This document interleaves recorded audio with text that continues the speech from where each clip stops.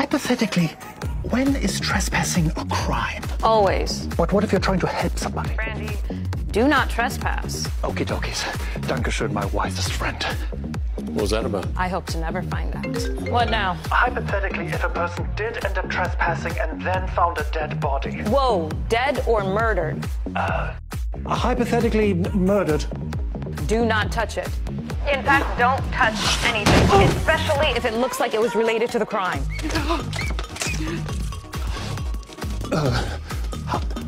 Hypothetically, if I uh, fell in the man's blood.